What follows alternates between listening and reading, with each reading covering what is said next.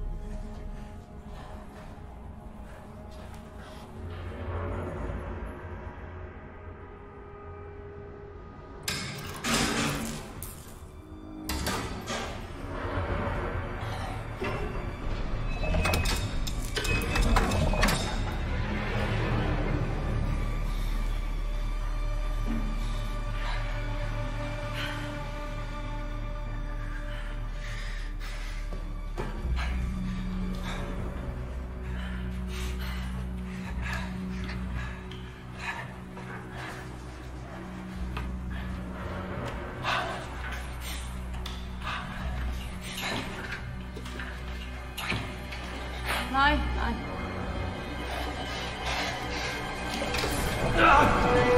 Ah!